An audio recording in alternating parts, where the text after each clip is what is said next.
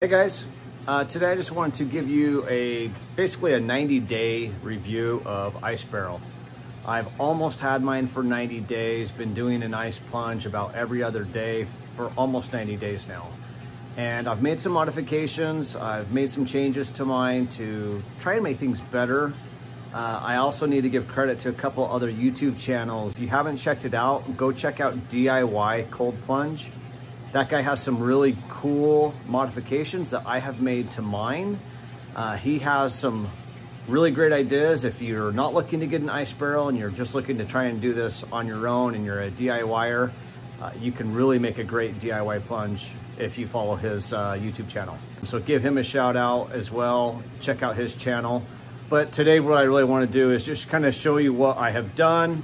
So after about 45 days or so of using my ice barrel, I was able to find that the water was not staying as clean as I really wanted, even though I was adding hydrogen peroxide, even though the pH balance was where I wanted it.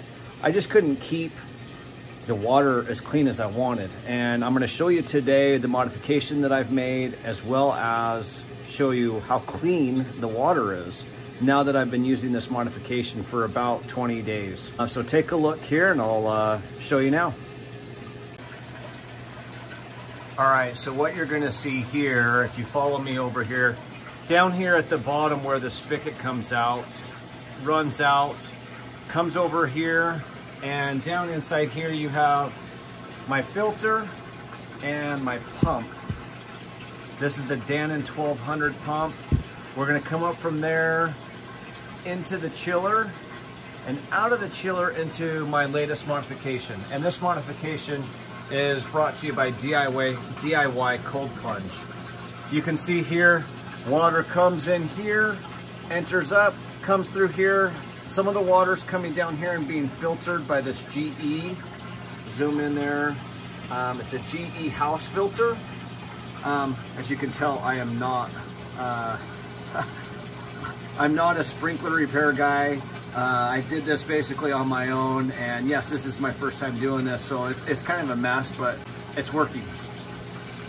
The other water, the other half of the water is coming up here into this system here, where ozone's being pumped in by this ozone generator that I got from DIY Cold Plunge.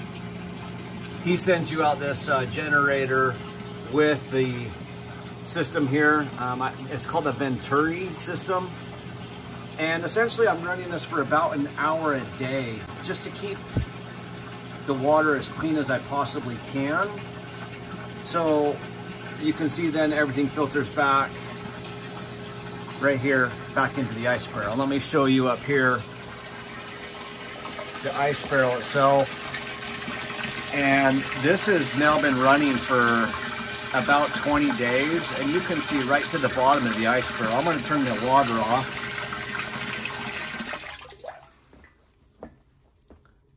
So this kind of gives you an idea of how clean it's keeping the water. Now at this point on my first go around, I couldn't see the bottom of the barrel. I mean, maybe I could, but the water wasn't as clean as it's keeping it currently. And it's, it's pretty amazing how this system here, just by adding this filtration system has kept the water so fresh and clean.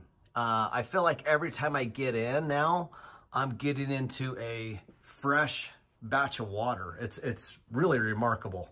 So I'm hoping that this new modification made to my chilling system will continue to keep the water cleaner for longer Beforehand, I made it about 45 days before I had to hook up a garden hose down here to the spigot and empty it out through the front of my garage out into the gutter. Uh, but it worked. Wasn't a big deal, but I just preferred to not have to do it every 45 days or so. I'd prefer to be able to just keep the water clean. And so far, this system is working flawlessly keeping my temperature at 40 degrees, give or take a degree. And everything's working out amazing. So if you're looking to make a modification or an upgrade, I highly suggest take checking out the DIY Cold Plunge channel. Check out his channel. He walks you through step by step, all the pieces to get here to make this modification, but it's all three quarter inch PVC, everything that I found, everything that I have here, minus uh, the ozone generator down here at the bottom, and the Venturi system came from Lowe's or Home Depot, um, just your local hardware store, whatever whatever you have locally. But uh, yeah, that's it, guys. So so far so good. I'm loving my ice barrel, loving getting the plunge um, about every other day right now. I'm doing four days a week, so that's what I'm doing. If you have any questions, uh, please put them in the comments. And if uh, you like this content, please like and subscribe. Thanks, guys.